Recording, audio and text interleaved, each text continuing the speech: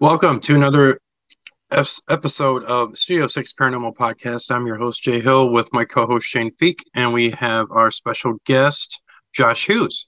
Welcome. Thank you for having me. I appreciate uh, you know uh, spending some time with you guys on a blistering cold uh, Sunday night. Right. Yeah. No kidding. so yeah, um, it's a little bit out of uh out of nor- normal stuff to for me to be doing this a little bit at home because of the fact of the weather and snow, and so um, it just was a little bit easier to do it from here. But um, first off, uh, I wanted to um, thank everybody for for tuning in um, on a Sunday night. Um, I am excited that our guest here is going to talk to us a little bit about um, some of his his experiences with the paranormal. Um, we have some great stories on tap. So why don't I um, let Josh introduce a little bit what who he is and what he does. So here's Josh. Yeah, um, that's a, a pretty uh, wide question there.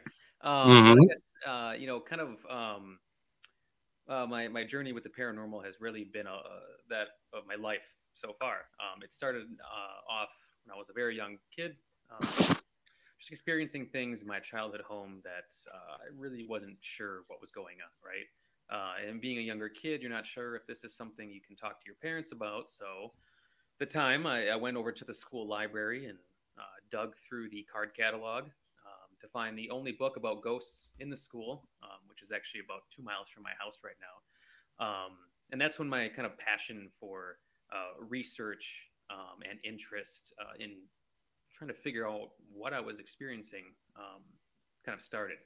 Uh, and then that's really kind of just carried out through my whole life. You know, in high school, it was kind of more of the thrill seeking, you know, going to a graveyard on Halloween with your friends to hopefully get that's scared cool. by something. Um, and then in college, it really kind of came full circle. Um, my uh, roommate and I were started getting into the TV shows. That's when Ghost Hunters was getting big, um, and that's when Paranormal State came out.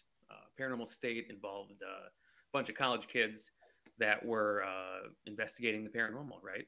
Um, so at that point in time, we actually decided to uh, put together our own uh, paranormal investigation group at UW Oshkosh. Uh, and that was the only group that's ever been there uh, since then, actually. It was the first and only.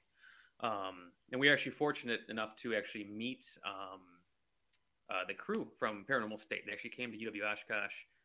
they did a speaker series during October, obviously. Um, and we got to go out to dinner with them, talk about the show, talk about their investigations. And as you know, a, a bunch of college kids and uh, very fresh to this whole investigation stuff, uh, it was mind blowing to be able to have that experience.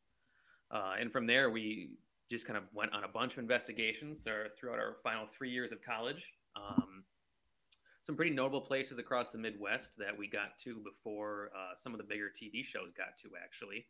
That's cool. Um, and then after college, I just kind of carried on doing uh, residential investigations. You know, here and there, I'd get people that needed help with some things, uh, needed help with research. That's always been kind of my forte is helping with research because a lot of things people just don't realize how to find on their own.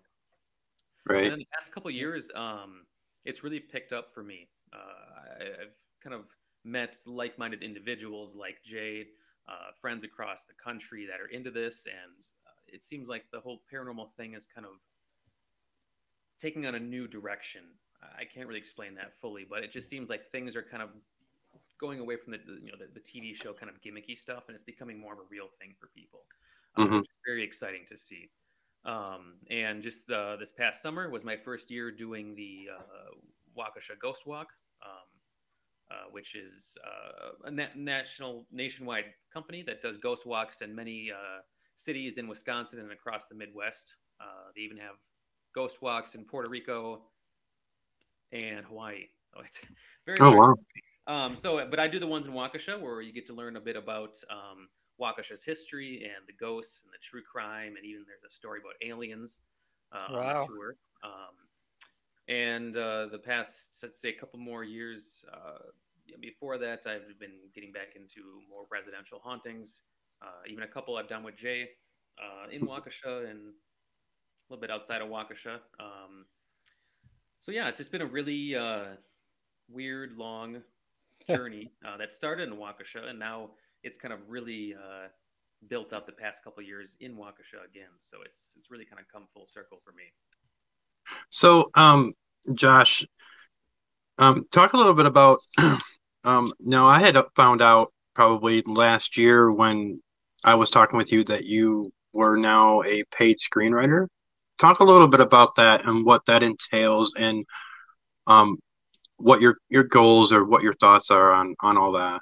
Yeah. So um, that's another thing that I've been doing since a kid too is telling stories. I've always just really enjoyed telling stories. Uh, as a young kid, it was ghost stories around the fire. Um, and then eventually, when I got to college, I, I, discovered that hey, you know, you can get paid actually like write movies. You know, it always kind of seemed like a something that wasn't real. You know, you see the Academy Awards and you see these people making these big Hollywood movies, and then I come to find that you can actually learn how to do this, and it can be your major. Um, so I enrolled in the uh, radio TV film program at UW Oshkosh, uh, which is arguably one of the better programs in the state. Um, and, and, one of the highlights that I, I uh, had in my college career um, was that I wrote and directed and even starred in a um, a Stephen King uh, adapted short story. So many oh, people, wow, many yeah. people aren't familiar with it, but Stephen King uh, does this program where he um, allows you to buy the rights to his short stories for a dollar. They're, they're oh. called dollar babies. Um, and I discovered this my senior year of college, and I again directed um, uh, Strawberry Spring, which is a, a, short story from his collection of stories in Night Shift, which is a, a book of short stories. Um, and that was just you know like mind blowing. Like Stephen King is my favorite author. I've read most of his books, uh, and to be able to adapt his short story into a screenplay and then actually make it was out of this world. Uh, and ever since college, um, I've uh, wrote and directed a few short films. Uh, I've helped friends make short films. Uh, in the past couple years, I've really gotten into writing and editing. Those are my, my two things. I, I, write it and then I finish it at the end once it's all shot. Um, it's just something that really keeps me busy. You know, it it, it drives me. It, it, allows me to get those creative juices really out out of my head. Um, and pairing along with the, the paranormal stuff, um, one of my first screenplays, um, one of my feature screenplays, uh, was about the things that I experienced as a kid. You know, I was able to research them a bit more and turn into a story, um, and kind of get it out of my head. You know, make it not just a memory anymore, make it something that people can actually read and maybe one day possibly see. Uh, because it's again, it's very difficult to explain those things when you're a kid. Um, sure. Right. Right. Wow, that's that's really cool. Yeah. Um, so is it something where like you would want to pitch to somebody in the in the future, or that's a like if you had an idea, or you... it's a very difficult process.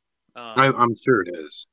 Yeah, it's uh, it, you know, I, am a part of a lot of Facebook groups, uh, Reddit forums uh, on screenwriting and filmmaking in general. I have a lot of colleagues that are into that as well And it's it's it's a really hard grind. You know, you've got to be doing this for years. Um, you know, you can write maybe twenty screenplays, and then your twenty-first one is the actual good one. You know, you just got to yeah, right. It's true of most things. right, right. That's decent that people yeah. respond to. Um, so yeah, I, I, mean, I've read for contests. Uh, I've linked up with writers who are repped by managers who have gotten stuff produced. It, it's all just networking. Um, keeping material pumping out, um, and hopefully one day you can kind of make something of it. Um, mm-hmm. I'm not banking on it. Uh, I just really enjoy it. It's fun, uh, and hopefully I can always make sure that that's a fun thing that I'm doing. it's, it's well, the one thing that I know, the one thing I know about you is that you, you don't bake on pretty much anything unless it's a kind of a for sure deal. So. yeah. Um, uh, yeah, I'm very easygoing. You know, just kind of right, right. What happens. Um, if it happens, it happens. Right. You exactly. know. Everything is meant to be for a reason. That's how I feel. Right. Right. Right. Yeah. So um, let's talk a little bit about um, you have you like to do documentaries as as from what I'm what I'm I'm being told for a while now that you know um you had a documentary idea or you have one in the works um and until the recent until until something comes along where you say, "Hey, that's what I really want to do." Do you have any idea of like a location of what you would think would be a really good as a documentary, like in a paranormal field. Right. Yeah, and I, am seeing that um, becoming more of a trend recently. Um, Mhm. I'm sure you've seen the one with the Conjuring house that came out. Um, I saw someone. I, I don't know where I saw this, but it was uh, this team went into a haunting, uh, haunted house with uh, the guy that played, I think, Jason in the in the Friday the Thirteenth Yep. movies. Yeah, yeah. We just interviewed uh, the two of the people that were working with the Okay. uh, Kane Hodder. Yeah. Right. So maybe that's where I saw it. Um, Mhm. on the context. I mean, um, so I, it's it's interesting how people are now kind of turning um, haunted locations into uh, documentaries. You know, there's a lot to learn on these things, and and uh, I I think it's really cool that people are you know inviting actors, you know, getting Sure. kind of, you know the, the entertainment world uh, into this because I know a lot of people, um, actors, directors, writers, are very interested in the paranormal. Um, but I think uh, what really would pique my interest uh, with a documentary of this sorts would be the the people that are involved with it. Um, and I don't mean the spirits; I mean the actual people that are either living there, renovating it, um, uh, have experiences there. Uh, I think those people can almost be characters in themselves and make something Right. unique. Because a haunted house is just it's a house with spirits inside. You might not get anything. So having Sure. some sort of character um, that can drive the story along while you're trying to help them with the haunting or discover what's haunting it or doing research. Mhm. Um, Right. Yeah, that's what really interests me. Like the, there was a, a one that came out a few years ago. I think it was, I'm pretty sure it was a mockumentary, but it was just a very good scary movie done in kind of that found footage format, um, and that was the Blackwell Ghost. Um, Okay. That one was on Amazon Prime. I, I probably watched it half a dozen times. It's it was just a very well done movie by one guy. Um, basically, he didn't believe in ghosts. He wanted to make a documentary about um, staying in a haunted house for a weekend, Mhm. Sure. to prove that ghosts were actually real. Uh, again, I think it was fake, um, but it was just a very good horror movie in that sense. Now, do you watch a lot of documentary, like paranormal documentaries or stuff like that? And do you, if you do, I mean, do you like kind of like say, "Hey, that's a great idea," or "I should look into that," or make, you know, kind of, kind of dissect it a little bit and saying, "Hey, I don't know if I do that," but you know, Yeah, um, you know, coming from the production side, um, you know, I, can basically make a movie by myself. I can write it, I can shoot it, I can edit it, right? I could even act in it if I really had to. um, so when I when I see something, um, a lot of these documentaries that I see, uh, the production value just isn't there. So it just it's shot poorly, it's edited poorly, it's the lighting's bad. You know, these are things that I always pay attention to, and those can unfortunately hurt my opinion of of some productions. Um, but you know, I won't push that aside and actually look at the story and what's going on. Is it interesting? Um, do they know what they're doing? Um, Mhm. i- is, it you know enough for an hour and a half? Some of these documentaries they just stretch them out so long.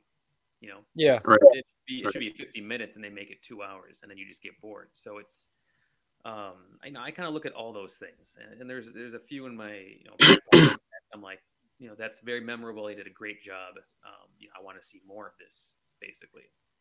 Mhm. Yeah. It looks like a lot of times they come up with like certain graphics and they keep showing the same thing over and over and over Right, and over. It's like, okay, we've seen that clip 10 times already.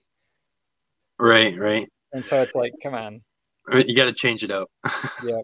you know but um well that's great i mean i i, I firmly believe like since you know since i've known you for a while now and and i know that you know you're talented in in other a- areas like that in the paranormal but um tell us a little bit about your behind the camera you know that's kind of like your forte your job basically right Right.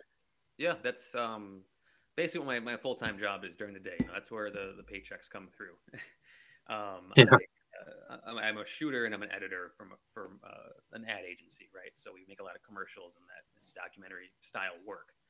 Um, so bringing that over to the paranormal side, I found being just as an investigator, um, I get scared easily.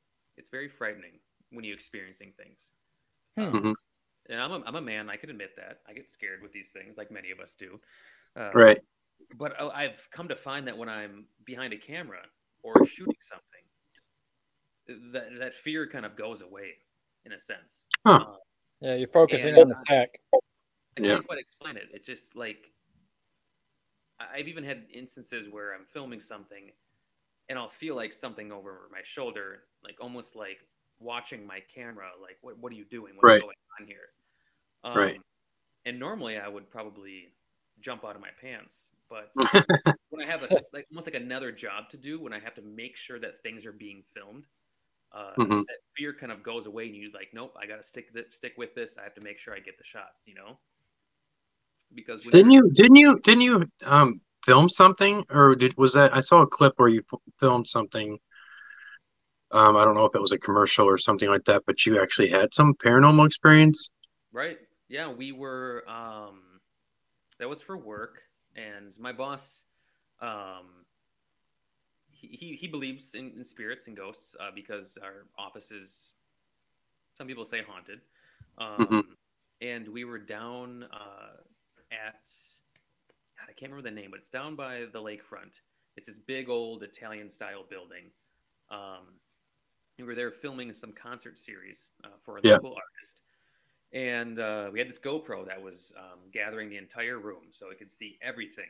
And in the center of their room, there's these two big uh, floor-to-ceiling glass doors, uh, and you can hear it clear as day in the clip. My boss says, "Action! You know, we're ready to start filming," and these doors just swing open, and everybody in the room just kind of like takes a collective breath, like, "Did that just happen?" Like everybody saw these doors that were deadbolt locked, just Mhm. swing open, and you can even hear somebody in the clip say, "I think there's a ghost here." Like we just we just felt and saw something happen.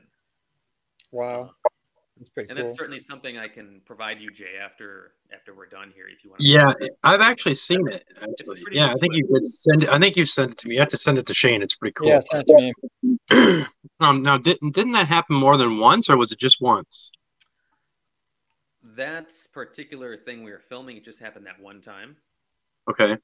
Um, but as I as we got there for the day, we were setting up, um, you know, bringing the cameras and the gear in. Um, Mhm. I, my eyes were just like kind of drawn to those double doors, hmm and they were kind of like moving already a little bit. Um, and there was like Now that's down. That's that's in Waukesha. that's in Milwaukee, down by the lakefront. Oh, down by the lake. Okay. Right. I can try to look it up here as we're talking. Yeah, yeah, and yeah. Send me some information. I mean, I sent some pictures, and I could probably maybe gather uh, what a little bit of it is, and. This and that. But yeah, that's it's. It sounds intriguing. I mean, I it kind of like just watching the the faces. You know, the the people, the, the look on their faces. It's just like, what Right. was that? Yeah, you know? everyone just kind of like stopped and was like, "That that really just happened, right? Those doors Right. were. Um, and When you get that aha, when you get that aha moment, they kind of like, holy crap, you know what I mean? And then you're like, Yeah. but since you were shooting and you were talking about you were just doing what you were doing because that's your job, you know, it wasn't, and you evidently have two different modes. You know, you have your work mode and then you have your, you know, relaxed, you know, kind of, you know, what you do at home and this and that. And when you go out to do like paranormal investigations or stuff like that, that's different. Maybe we should just, because, you know, we should probably put you up behind the camera all the time and then you won't be afraid. you know so well me and uh, josh did a little bit of investigation um, on halloween uh, weekend was it? No it was in august. It was a Friday the thirteenth in oh it was a friday the 13th uh, talk a little bit about that bar and a little bit about the history. I'm sure that people really don't realize that you know some of these places are kind of tucked away in you know the recesses of history and it's a pretty good story. Yeah, so um, if there's people watching that are uh, in Wisconsin uh, or even near Waukesha, um, uh, there is a bar that's uh, an older part of town called Club 400.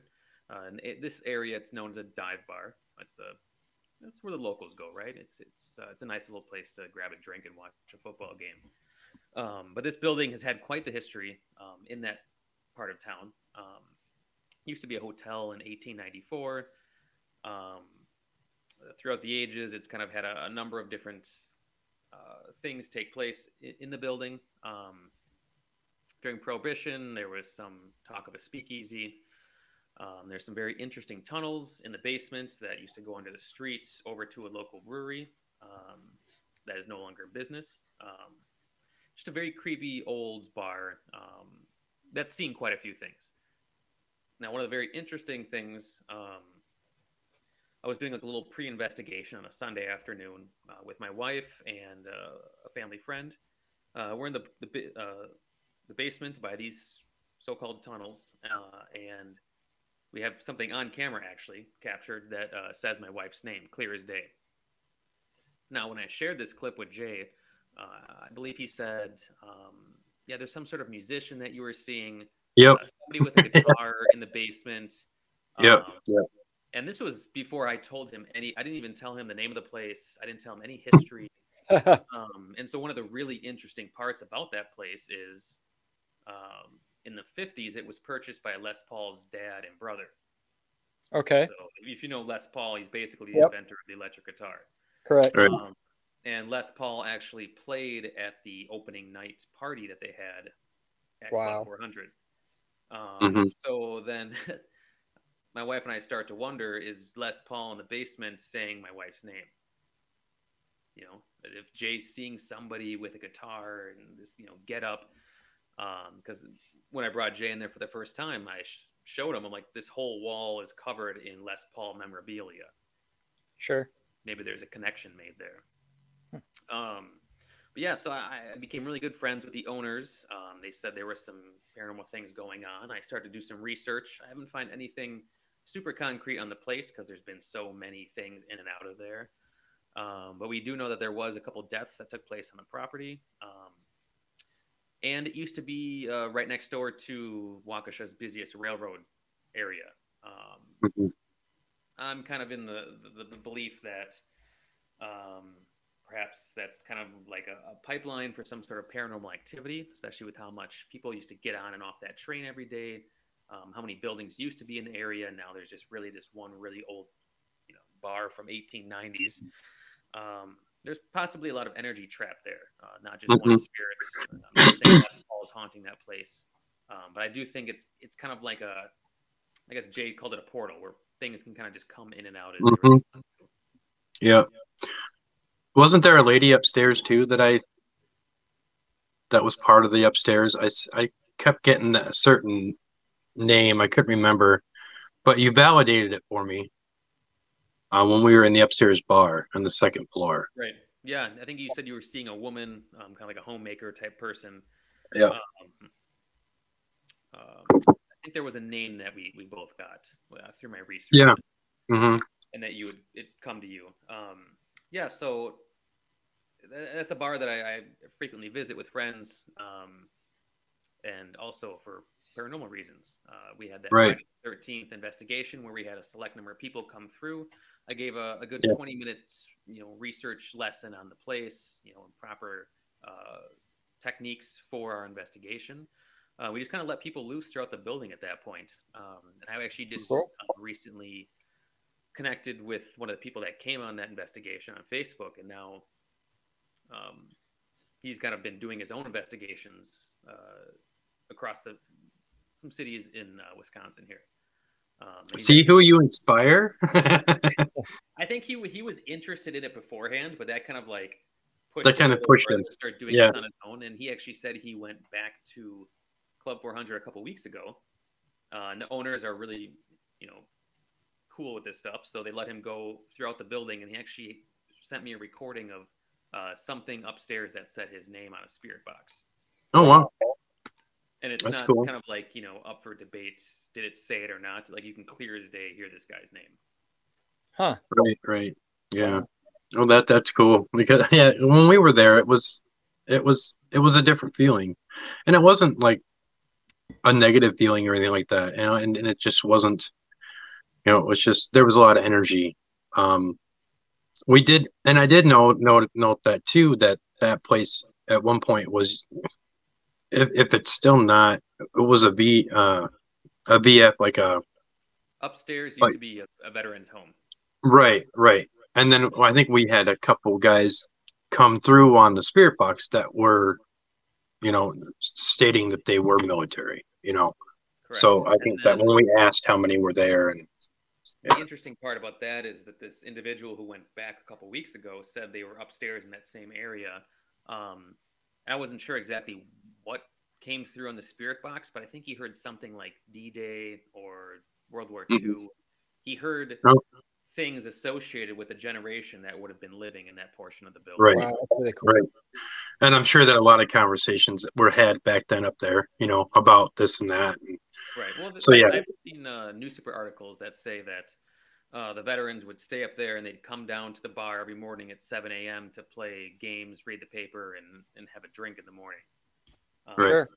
So, I mean, there was a lot of, you know, as the greatest generation, right? Um, and uh, there, there's probably still a lot of energy left there, um, especially if they were in a daily routine. right. Stairs. Sure. Maybe it's something that they're still doing, you know? Yeah. Could be a loop or could be something residual or, you know, something like that. The imprint is still there. You know what I mean? And a, a lot of that whole area around there with the railroad still being there and, and this and that. You know, I mean, it's just yeah, it's it's ripe for paranormal activity. And did you ever find out? Remember when I told you that I had kind of I saw a guy getting beat up in the alley? Did you ever find anything out about like a death or like something related to that? Remember when I I don't know if you remember I mentioned that. I think I found a few um, old newspaper articles that uh, talked about um, police activity and uh, fights happening um, mm-hmm. you know, it's been a bar for over I think 70 years now. Right. So I'm sure it's it's kind of known as a local college bar too. So I'm sure that um, there have been many fights that have taken place in and right. outside the building. Um, yeah. I couldn't find anything in particular that would lead to right. a, a, significant fight or you know something where somebody got uh, seriously injured. Right. Know? It was just an impression that I got uh, from this guy that it was kind of like he was and it was a very emotional Im- imprint. You know what I mean?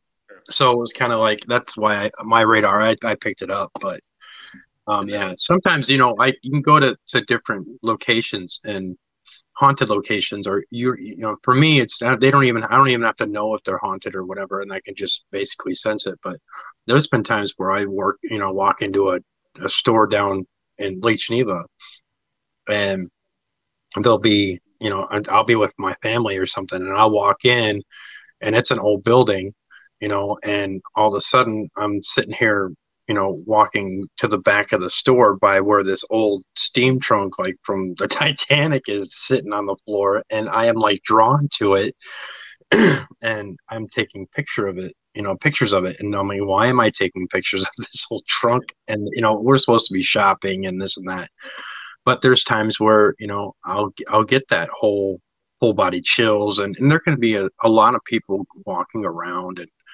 and doing things and shopping and this and that. But it's like you know just because that stuff happens doesn't mean that everything stops. You know, right. sometimes in some aspects, I mean, but for the most part, you know, I've there's a lot of a lot of activity downtown where I live in by Lake Geneva, and yeah. same with Waukesha. I mean, there's like I said, you know, Wisconsin's got some really great history. You know, just like you know, I'd I'd love to go to Chicago. You know, and yeah. investigate that hotel. I can't remember the name. The, the uh, Congress or the Congress, correct. Yeah. Do you know about that chain? Uh, I've heard of it, but I never really checked it out there carefully. There's been a lot of paranormal teams that have, have gone there. Um, that would be really cool to go to. There's, I guess, there's a story of a gentleman who I evidently uh, beat this lady in this one room or killed himself, I or something. But they lot they they basically boarded up that room because it was just it was an awful scene and this and that. But yeah, you know, I mean, so it's like it's I remember what floor it's on, but I mean, there's been so many different stories that come out of the Congress that it was just, you know, I mean, you kind of realize that was you know back in the heyday of the prohibition and all that, you know, just walking downtown, some of the older dock areas, you know, when they had all the mobsters, it's just the history is just yeah, Chicago.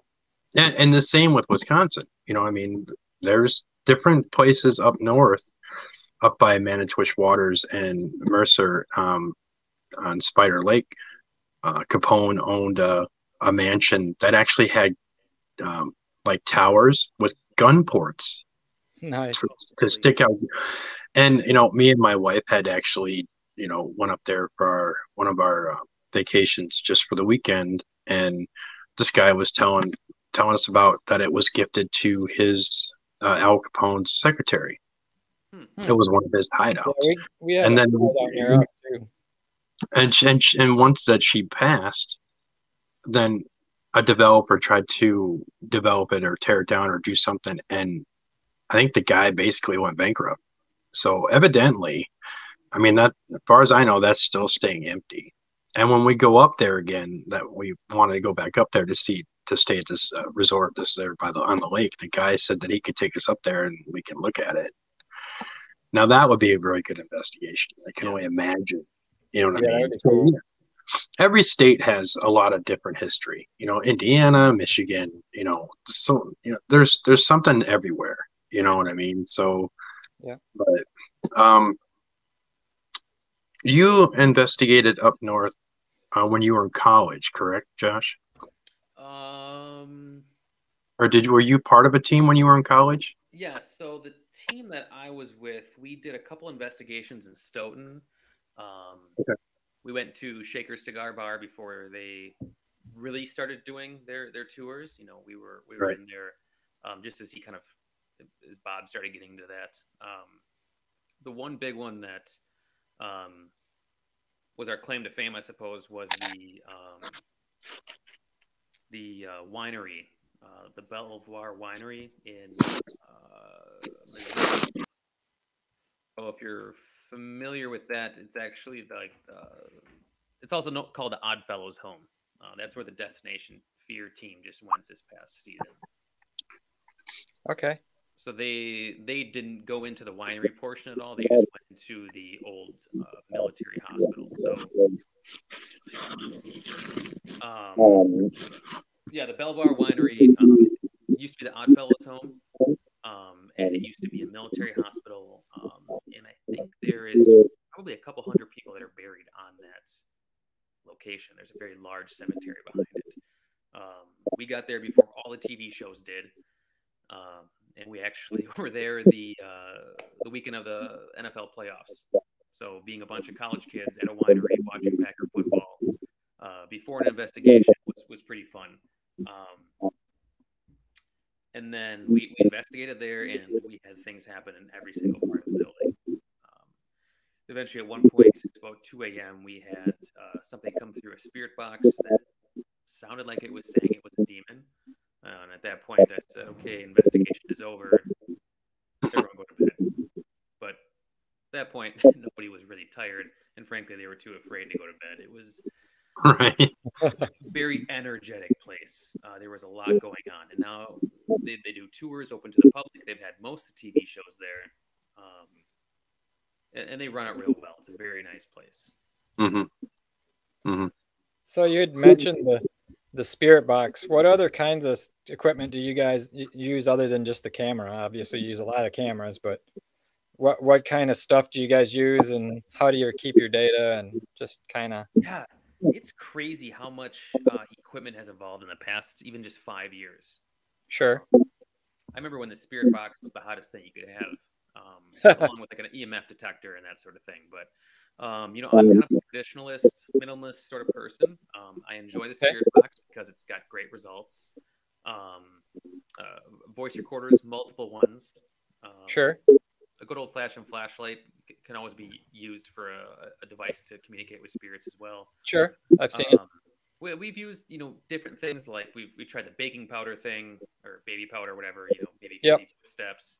Um, we've tried using one thing that emits, um, I don't know, A ghost feeder. protons. It, it emits energy into the air to hopefully. Yeah, a ghost feeder, EMF feeder. Yep. Right. We've tried that. Um, and in the past couple of years, I've really started just kind of making my own little devices to see if they work or not. Mhm. Oh, that's cool because that's what I do. I make all my own stuff. Right. Yeah. And that's what I enjoy. You know, I started making, um, um, what the hell is it called? I always call it a theremin. Um, Yep. I know what those are. but uh, the REM pod, basically. You know, if something comes Yeah. close to it, it starts to beep. And I made one Sure. of those for 15 bucks, and I was like, I'm not going to spend 150 on a nice one where I could just make my own, right? Yeah, that's how I do it. But yeah, I- I, I- think uh, just trial and error, figuring out what works. right. Right. Right. Different energies that you're that are attracted to you or whatnot. You know, Yeah. it's I don't have I just went through all my stuff yesterday because my wife asked me to. And I haven't even used half of it. And I'm like, okay, either I got I I, I probably have like four or five, you know, handheld camcorders and Wow. I've got like five or six different trail cams, which I use. I've got, uh, you know, a half, cams are pretty good. a half dozen stands, you know, like tripods for cameras. I mean, so it's like, but it's, you know, that whole thing of maybe I'll use it, Yeah. you know, I don't want to get rid of it. What if I need it? And then, you know, and on the flip side of that is, you know, how much money you could probably sell, you know, make selling these because I, I'm not using them and I haven't really used them. But if I ever get to go to a big location, then I can probably utilize some of that. Right. You know what I Yeah. mean? But there again, you know, I, I would say that I'm my own best tool. So Yeah, see, I- I switched to computer logging for everything. Pretty, pretty much all my sensors are logged like every second, and then makes computers. And then I can do statistics on them. I can do blind studies. I can do all kinds of science stuff. So that's how I do my investigations. So they're probably boring to other people because I'm just sitting there watching numbers on a counter go and kind of listening, and you know, voice recorders and a couple of cameras going, of course. But for the most part, most everything I get is some kind of computer instrument. So right, totally right, different than what normal ghost hunters ever do. right, And I've always So- believed that um, no matter what equipment you have, uh, I think Yep. things are either going to happen or not going to happen. Understood. Yep. Uh, that's where my minimal, minimalist kind of aspect comes into play. Where I think if you just have a few basic things, you know you can get evidence from them. Yep. Having you know a three thousand dollar device isn't going to Yep. make your investigation any better or worse. Sure. It's Understood. just like you know, kind of like you know we were talking about guitars before the whole Mhm. um, podcast started. Um, you can have a million effect pedals and the biggest amps in the world, um, but it's all in the person playing the guitar Correct. Mhm. knowing your technique. You know, it's it's not the devices you have; it's in your ability as a guitar player, or in this case, uh, an investigator. Yes, I agree 100%. I agree with that. Yeah. Yeah. Um, now, uh, over the summer, I would say in the fall, you had taken your wife to Salem. How was that? Disappointing. Okay. Oh, Um, you know, um, I, I wasn't gonna say I was let down. Um, I was underwhelmed. Okay.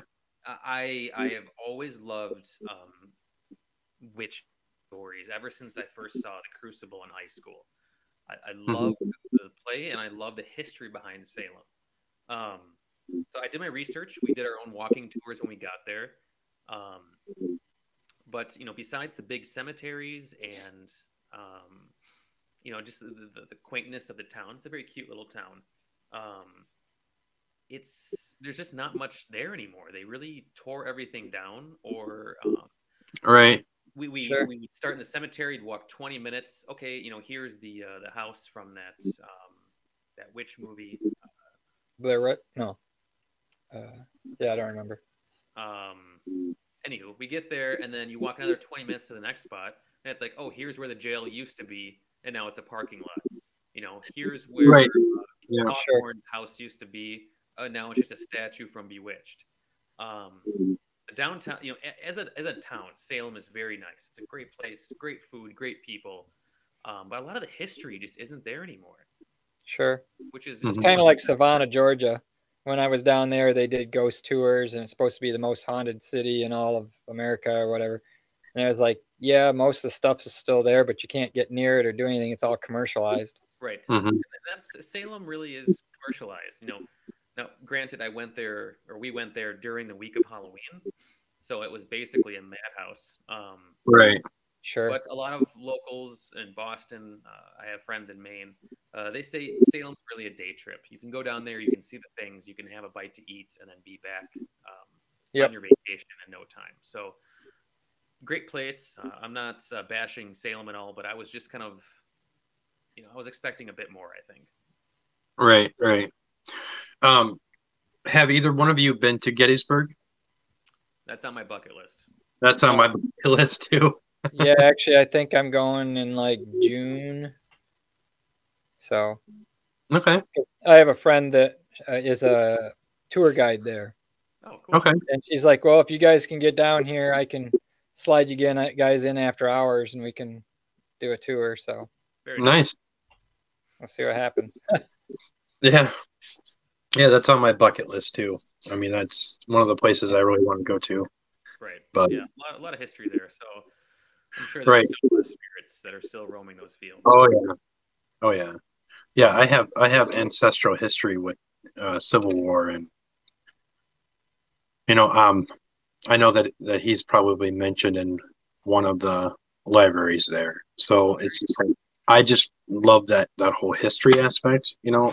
Right you know, being, you know, a, like a history buff and just like all that history and, you know, and it's just, I don't know. I just, the kids today, and I, I feel like an old, old guy for saying that, but the kids today get that. You know what I mean? I don't know. It's just one of those yeah. things, but, um, so tell us a little bit about what you have coming up. Um, or if you have uh, works it's the new year. Um, I do have one thing uh, that I told you we can't talk about. Uh, All right. hopefully, hopefully, we can talk about it soon. Um, looking forward to it very much. Um, okay. You know, we had our uh, Jay and I had our canceled investigation last week. Um, there was a, a bit of a storm and some weird feelings about the location we were going to, so we we skipped that. But yep. we can kind of clear those things up and hopefully get back to it. Um, All right but the individual I told you that um, I just went back to Club 400 a couple weeks ago. He, So he works at Carroll University, uh, which is oh yeah, that's right. Yep. out my front door, um, and it's Wisconsin's oldest university, uh, built in 1846. Um, so I've done a private tour of Carroll with somebody who used to work there. He told me I don't know three dozen ghost stories, uh, basically all around the campus. Uh, Carroll is featured on the Waukesha Ghost Walks tour that I do. Um, and ever since learning about more of the history and some of the things that happened there, um, this individual who I just uh, reconnected with a couple a couple weeks ago, uh, he still works there. He's going to take me and Jay on a, a little investigation there some night. Mm-hmm. Um, he's had multiple things happen in every single building. Um, really, I've got a, a, good collection of stories myself where I think we can really pull on actual names and dates and events. Wow. You know, and speak to actual spirits. You know, that's one thing I'm very yep cognizant of is making sure I'm not just going into a place and like, who's here? What's this? Who is this? It's like, right, right. Hey, we're here to talk to Rachel. Right. You know, it's yeah. 1945. Talk to us about your husband or you know, your kids. Mm-hmm. I like sure. to make sure I'm connecting with spirits like they're still living people because you know they at one point right. living people. So Understood. I don't like to treat them like there's some sort of painting on the wall. You know, it's right, right.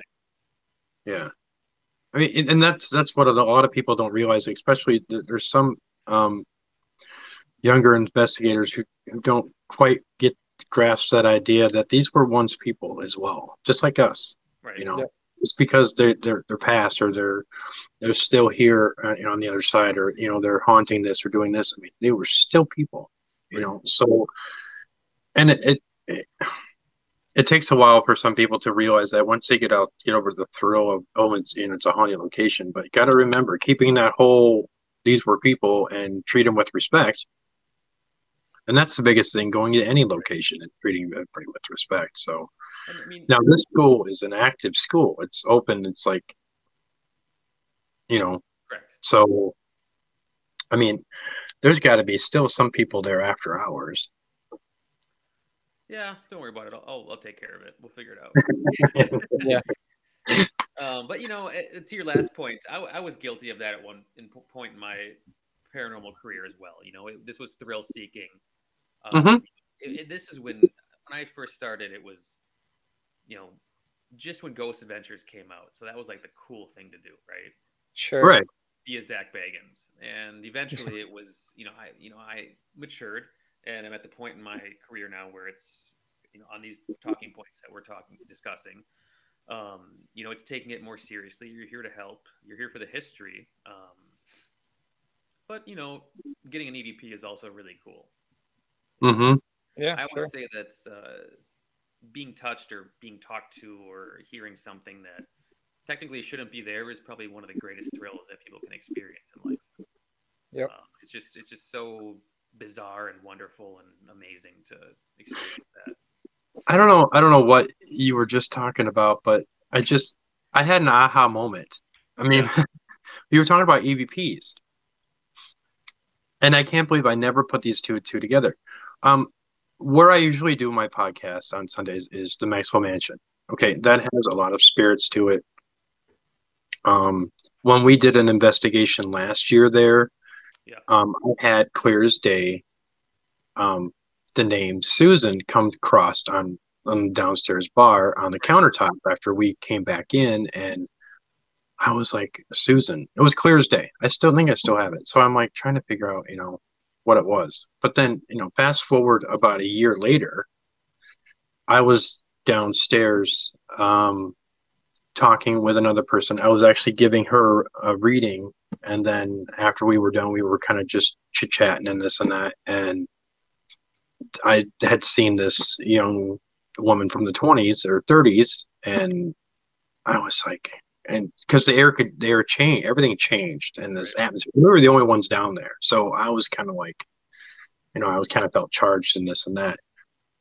And then she asked, um, the lady I was the old, the bartender asked who it was, and I said, you know, I got the name Susie. Well, I just now put the two two together because I had Susan and then I had Susie Yeah. because that and that what was that was short you know i mean because there was a there was a guy there that in a male's voice asking basically where's susan where's susan you know what i mean so and then i got that and i'm like so you know i guess i have aha moments at you know random times but that was just i can't believe i never really put that two two together now i understand why but Well, I'm glad I could make it. the EFP, you know, EVPs, they're great to get. I mean, when you get them, you, you know, it's you feel like a kid again. You know, Uh, and that's one of the, the greatest things you can share with people is an EVP. Uh, I mean, next to capturing something on a, a camera or a video camera, um, I, you know, EVPs are just like the, you know, the gold standard for uh, investigations. You know, Sure. getting one of those is just like you just want to throw your fist in the air when you hear it for the first time. Yeah. Usually for me, it's a you know a statistical bump in the data you yeah, know, on an answer to a question. I mean, Right. literally, it happens right in the few seconds that you just asked it. It's like, oh yeah, that's different.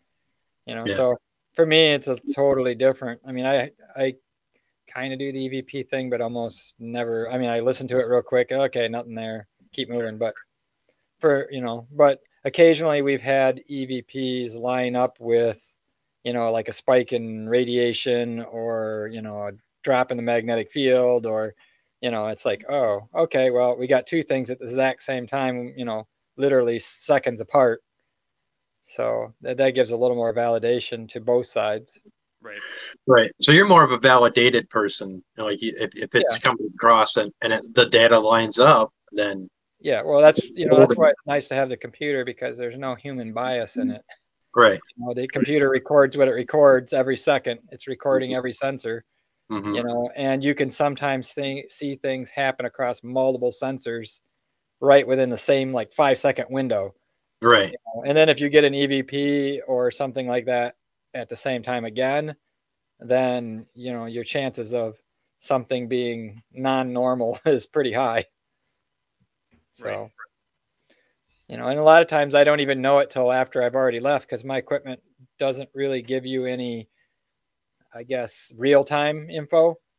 You know, but it's logging it onto a thumb drive or whatever, and you get you get home and you you throw it in the stat software and you start lining up the spikes and you start lining up the videos and the EVPs and all of a sudden mm-hmm. you realize, oh yeah, we got a you know we got an EVP and you know some magnetic field changes and and they all lined up, you know, or happened multiple times, you know, and, and of course, at this point, you can, when you're doing statistics on it, you can actually say, hey, look, here's the data, here's statistics, here's the spikes, here's the spot. You right. know, you got something tangible to show right. another human and say yes, other than I just saw something or something touched me. you know. Yeah.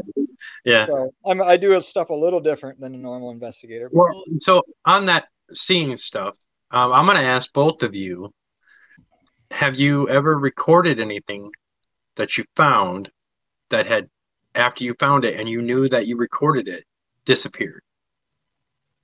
Hmm. I would say no. It's. I'm going to say no. I've only okay. had it happen where obviously you don't hear the EVPs in real time, but then you go back and you're like, how the hell? Of course. there, you know. Right.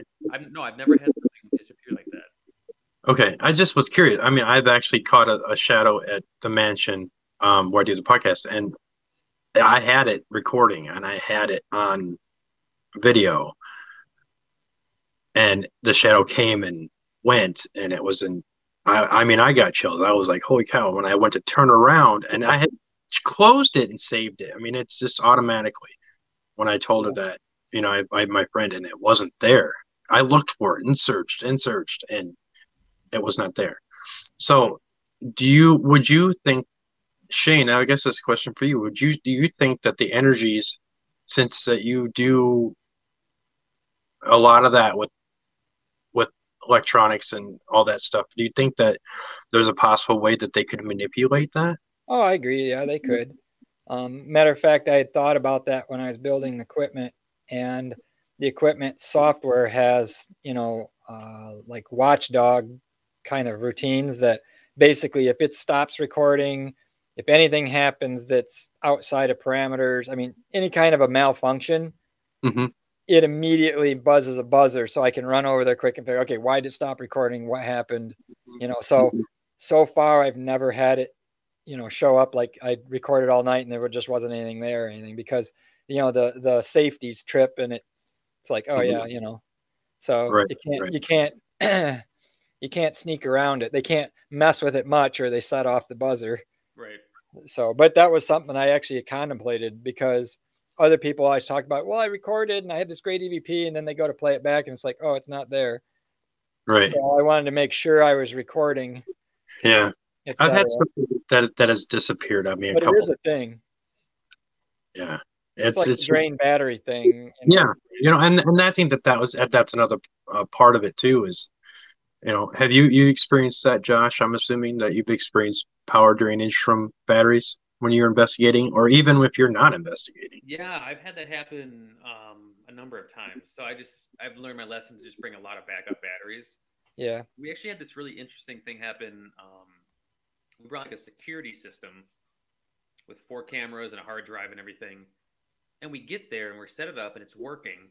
Turn it off, you know, have dinner, you know, prep. Turn it back on, and the we had this super nerd guy who knows all the computer stuff. Sorry, Shane. That'd be me.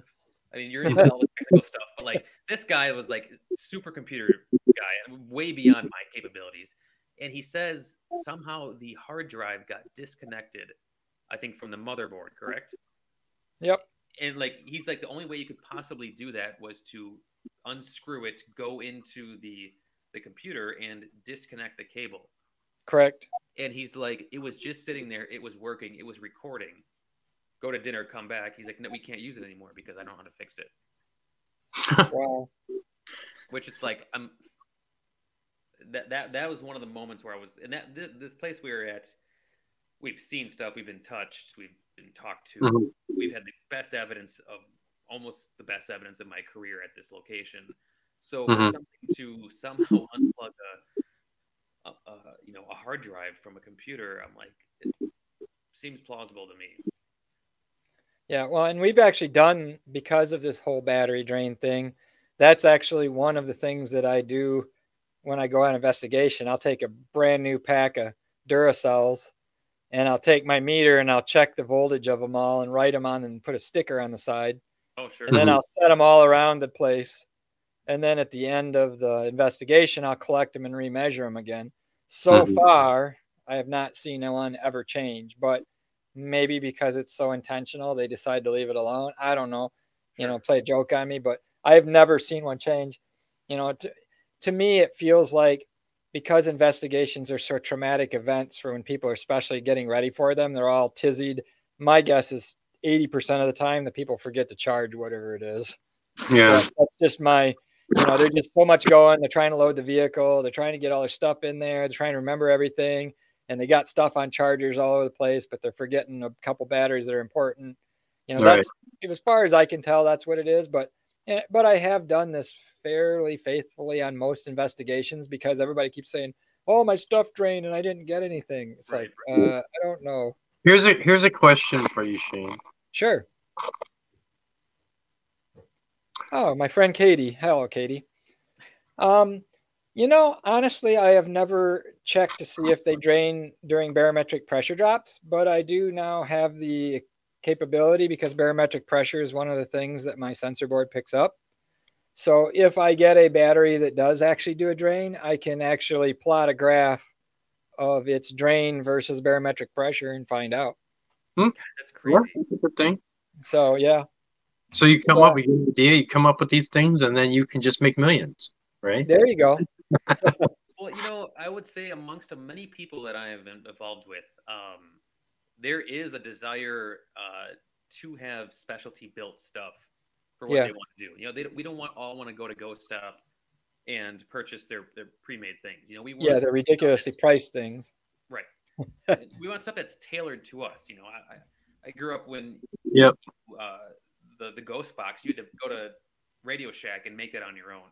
Yeah, well, and there's all a lot of fake equipment out there too. I mean, right. like I say, I reviewed somebody's Chinese REM pod knockoff, and once I actually took it apart and started diagnosing what the circuit actually did, it literally was a random timer that flashed lights and played the beep sound Ugh. at random intervals. Right. It's like, uh, how about no? it's a good thing you didn't pay much for the thing. Right. Right. So. Yeah.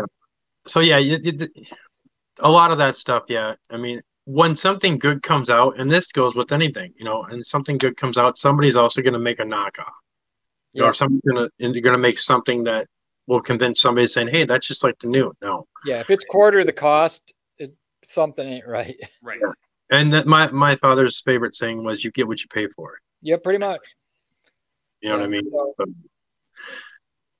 yeah. But yeah, designing custom stuff is it's pretty fun and it's cool to see how your sensors fare when they're out there. I mean, we're doing 26 sensors at once right now. The last time I looked on my board, so so it's kind of neat because you can see the correlation of everything together all at once.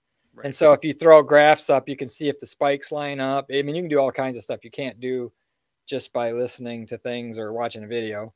You know? Right. Katie had a, had a good statement. I was just laughing at that. Yeah. yeah, we like lights and buzzers and beepers and yep. stuff to interact with. Right. Probably more than the ghost does. Yeah, just like a two year old. Yes. Yeah. Yeah. So.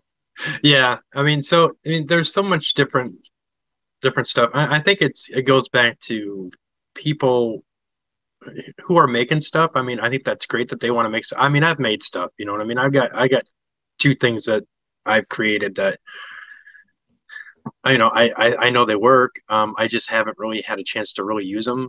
Um, but there again, you know, it's like, I don't know. There's people that, that want to build stuff just to sell stuff, you know? Yeah. I, have never sold all my stuff. Yeah. I, I, I just want, I'd like, to, I built a couple of those things for myself and for my team because I just, that's all I did. You know what I mean? It wasn't like, and then I, but if I have somebody who says, Hey, you know, you, build me one and I'll buy one. It's like, yeah, that's great, but it's a little bit of work. And yeah, that's what my problem is. Talked about the, the device, you know, I mean, that thing takes you a while to build that. I mean, yeah, you'd have to charge it quite a bit. Yeah. Oh, yeah. I just see that Robert had a really good comments that um, sometimes oh, yeah. afraid of these machines. And so, what I like to do whenever I go to a location for the first time is I explain in terms that this person, this spirit could potentially understand, like, hey, this is a little box that allows me to talk to you um, mm-hmm. because I can hear yep. you very well. So if you want to talk or discuss things or answer questions, you have to do it through this. And I, you know, I explain like a two year old how it operates. Yeah, um, very good. He's, he's got a great point that they're afraid. They don't know how they work. They don't know what to do. So yeah, you just got to explain. Um, you know, maybe this person was from the 1920s. They have no idea what a what a ghost box is or uh, oh, of course, yeah. voice recorder. You know, you just got to explain it in simple terms. Mm-hmm. Yeah, especially with things like EMF feeders, where you're pushing mass quantities of EMF into the air right. intentionally. They're probably like, "Whoa, we crap! What the heck is that?" Correct. Right, right. Yeah, like EM, like uh, like EM pumps. You know. Yep. Yeah, because I got an EM pump built onto the board that I can cycle on and off. Mm-hmm, mm-hmm. And so I can I can watch to see if they if they mess with it at all. It causes changes in the sensors, so mm-hmm, it's pretty mm-hmm. neat. Yeah, you know, I mean, there's just there's a lot of people don't realize that, that it's not. Some people aren't going to be you know as educated in that sense. You know what I mean? I mean, sure. people are like, "What is this? You know, why is this doing this?" You know. I mean, sometimes when when you show up at a location and it's you know that you know that our spirits are, but everybody sees the lights after everybody's outside. Yeah. You go inside and nothing happens. You know what I mean? Because mm-hmm. like Robert said, you know, there's a lot of them are probably scared or just skittish or yeah, don't understand. Yeah. You know what I mean? So, but yeah. Well, all folks, right. that's pretty much what we all have today, and we want to thank everybody for for viewing our another episode of Studio Six Paranormal Podcast. Uh, we want to thank Shane, Shane Feek, my co-host, and I also want to thank our guest, Josh Hughes. This has yeah, been, been awesome. And um, we will definitely have to do this again. And then you'll have to come back when you can talk about certain things that you can't talk about right now. So, um, um, so yes, I appreciate the time and thank you everybody for the great comments. It's been a great discussion. Yes, yes very, very well. And thank you everybody. So, yep. Yep. we will catch you probably in the next couple weeks. All right. Bye, stay warm. All right.